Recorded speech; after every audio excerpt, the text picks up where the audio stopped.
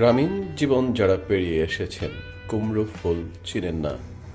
তাদের খুব একটা সংখ্যা দেখা যায় না। অর্থাৎ কুমড়ো ফুলের সাথে বিরাট পরিচিত। এটা মিষ্টি কুমড়ার ফুল। মিষ্টি কুমড়ার যে পুরুষ ফুল, সেই ফুলটা আমরা নিয়েছি। তা আশা করি বুঝতে পারছেন আমরা কি তৈরি করব। আজকে তৈরি হবে কুমড়ো ফুলের বড়া। দারুণ মচমচে, সুস্বাদু একটা বড়া তৈরি হবে। এবং এই বড়া খেতে দারুণ। তো প্রথমে আপনাদের পরিচয় করিয়ে দিই, এই বড়া তৈরি করতে কি কি ইনগ্রিডিয়েন্ট লাগবে? প্রথমে যেটা লাগবে, কুমড়ো ফুল পরিষ্কার, সুন্দর করে ক্লিন করে একটা প্লেটের মধ্যে রাখা। তারপরে প্রয়োজন হবে কিছু কাঁচা মরিচ, যার ফ্লেভার এবং ঝালটা আপনাদের একটা একটা অ্যারোমা তৈরি করবে। এইখানে আছে হালকা একটু কর্নফ্লাওয়ার, যেটা একটা মচমচে ভাব মুখের মধ্যে নিয়ে আসবে। এখানে রেখেছি একটু হলুদ, একটু মরিচ এবং একটু লবণ। এটা আপনার স্বাদ মতো দিয়ে দিবেন। কেউ একটু হয়তো হলুদ বেশি খান বা মরিচ, একটু ঝাল বেশি খান। যদিও মরিচের ঝালটা কাঁচা মরিচ থেকে আসবে, তারপর একটু দিলে কালারটা সুন্দর আসবে। এইখানে আছে একটু বেসন চাইলে দিতেও পারেন, নাও দিতে পারেন, এটা খুব নেসেসারি না। তবে অল্প একটু বেসন দিলে স্বাদের একটু তারতম্য হয়, ভালোই লাগবে। আর এখানে আছে চালের গুঁড়ো। এই চালের গুঁড়োটা আমরা করে রেখেছি, সুন্দর করে। এই চালের গুঁড়োটা লাগবে। এটাই আসলে মূলত ইনগ্রিডিয়েন্ট চালের গুঁড়ো। সাথে হালকা একটু কর্নফ্লাওয়ার হালকা একটু বেসন পিঞ্চ অফ হলুদ পিঞ্চ অফ মরিচ পিঞ্চ অফ সল্ট কাঁচামরিচ এবং অবশ্যই সাথে সুন্দর একটি চুলও লাগবে, যেটার মধ্যে আপনি তৈরি করবেন মচমচে কুমড়ো ফুলের বড়া। চলুন, তাহলে তৈরি প্রণালীটা দেখে আসি। সবচেয়ে ইম্পর্টেন্ট হলো যে আপনি যখন তেল দিবেন ফ্রাই প্যানটা যাতে পর্যাপ্ত পরিমাণে গরম হয়।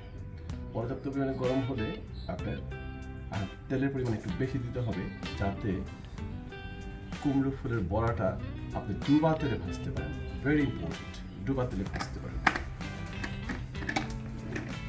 এটা বন্ধ করে রেখে দিই আর আমাদের এর মধ্যে আমাদের কুমড়ো ফুল পরিষ্কার হয়ে গেছে এটা সুন্দর করে ধুয়ে পরিচ্ছন্ন করে ফেলেছি এখন মিক্স করব সমস্ত ইনগ্রিডিয়েন্ট বাকি এর আগে যেটা দেখা, দেখিয়েছি আপনাদের, এই কর্নফ্লাওয়ার চালের গুঁড়ো, হালকা একটু বেসন আর কাঁচামরিচ, কাঁচামরিচের যে কোয়ালিটি জিনিসটা আমি দেখাবো, এটা হলো কৃষ্ণচূড়া মরিচ আমি অনেক দূর থেকে যে আজকে নিয়ে এসেছি কৃষ্ণচূড়া মরিচ কারণ হলো এই মরিচটার যে ফ্লেভার এটা অন্য অন্য মরিচের চাইতে অনেক বেশি পার্থক্য। করে চমৎকার একটা ফ্লেভার যুক্ত মরিচ।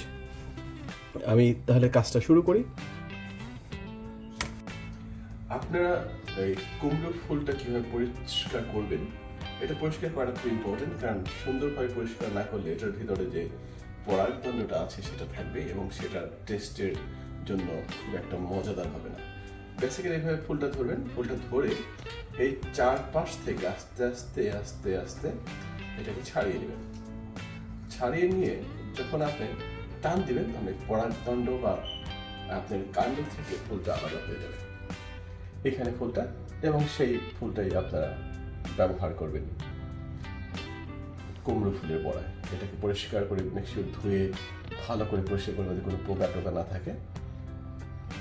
আমাদের মিক্সিংটা হয়ে গেছে। মিক্সিং এর মধ্যে আমরা এক্সট্রা ফ্লেভারের জন্য দিয়েছি একটু ধনে পাতা একদম ফ্রেশ ধনে পাতা বাংলাদেশি ধনে পাতা আর তেল গরম চুলোর মধ্যে। এখন আমরা ভাজা শুরু করব। এখানে রাখি স্পুনটা ভাজা শুরু করব। এই যে কুমড়ো ফুলটা, এইভাবে ঠিক এইভাবে ধরবেন। এটাকে একটু ফেরে নিলে ভালো হয়, না নিলেও অসুবিধা নেই, যেহেতু এটা সুন্দর করে ধোয়া। এটা এইভাবে সুন্দর করে ইয়ের মধ্যে চুপ দিয়ে মেকশিওর যে প্রত্যেকটা জায়গায় প্রত্যেকটা জায়গায় যাতে কুমড়ো ফুলটা লাগে সেদিকে খেয়াল রাখতে হবে। আর সবসময় যখন ভাজা কর বিশেষ করে যে কোনো ভাজা পড়ি বা স্পেশালি কুমড়ো করে বড়াটা ভাজবেন সবসময় মিডিয়াম ফ্লেমে হাই না লো না মিডিয়াম ফ্লেম তাতে ভাজাটা মচমচে এবং সুস্বাদু হবে। দিয়ে দিলাম প্রথম। এইভাবে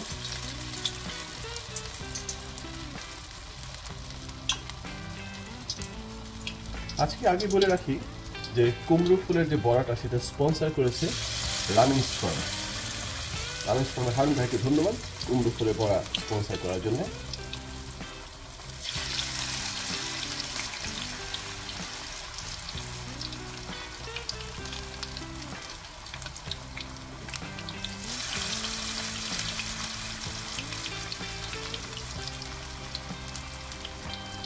আগেই বলেছি মিডিয়াম ফ্লেমে এটা করতে হবে। মিডিয়াম ফ্লেমে আমরা এখানে ধনে পাতা দিয়েছি। আর এটা যখন ভাসতে ভাসতে প্রায় গোল্ডেন কালার হয়ে যাবে, তখন আপনি ভাববেন যে এটা মোটামুটি হয়ে গেছে। এটা গোল্ডেন কালার আগ পর্যন্ত এটা নামানো যাবে না। আর সবসময় আগে কড়াইটার মধ্যে পর্যাপ্ত পরিমাণে দিয়ে ভরে তারপরে আপনি আস্তে আস্তে আস্তে আস্তে উল্টে দিতে হবে প্রত্যেকটা। আর আরেকটা জিনিস খেয়াল রাখবেন, যখন আপনার চালের গুঁড়ো ইউজ করেন মেক শিওর দ্য চালের গুঁড়োটা যাতে খুব মসৃণ এবং মিঠি থাকে।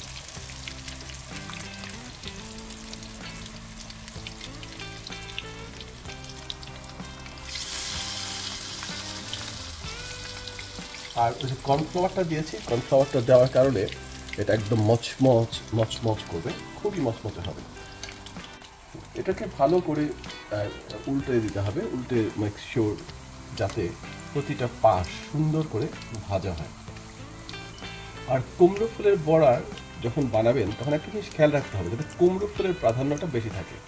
অনেকে অতিরিক্ত এই, বেসন বা অতিরিক্ত চালের গুঁড়ো দিয়ে কুমড়ো ফুলের যে অরিজিনালিটি বা আসল ফ্লেভারটা সেটা নষ্ট করে ফেলে বা সেটা আর পাবেন না আপনি। তো এইভাবে আপনি অথেন্টিক কায়দে আপনি চোখ বন্ধ করে চিন্তা করবেন আপনার মা, আপনার খালা বা আপনার দাদি কীভাবে কুমড়ো ফুলের বড়াটা তৈরি করতো, সেই রেসিপিটা যদি আপনি ফলো করেন, তাহলেই আপনি মোটামুটি জেনে যাবেন। অনেক সময় ইউটিউবে বিভিন্ন ইউটিউবার এটার কুমড়ো ফুলের বড়া বানানোর একটা পদ্ধতি বলে। কিন্তু আমি অনেক দেখেছি, কিন্তু আসলে যে অথেন্টিসিটি অর্থাৎ যে ট্র্যাডিশনাল যে কুমড়ো ফুলের বড়া, যেটা আমাদের দাদি বা নানি বা আমার মা তৈরি করতো, সেই ফ্লেভারটা আসে না।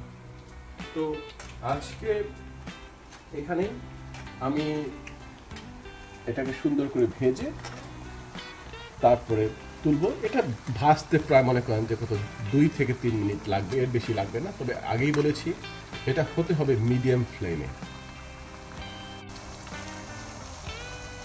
আর তৈরি হয়ে গেছে আমাদের গরম গরম, মচমচে কুমড়ো ফেলে পড়া একটা খেয়ে দেখি যে টেস্টটা কীরকম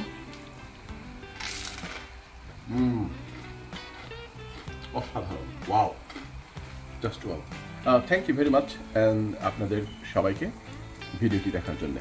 কুমড়ো ফুলের মচমচে বড়া, আপনারা যারা খেতে চান, কুমড়ো ফুল পাওয়া যাবে রামিংস ফার্মে। ওইখান থেকে গিয়ে রামিংস ফার্ম হলো লেপিংটনে, ওইখান থেকে আপনারা কুমড়ো ফুল কালেক্ট করতে পারেন। ধন্যবাদ।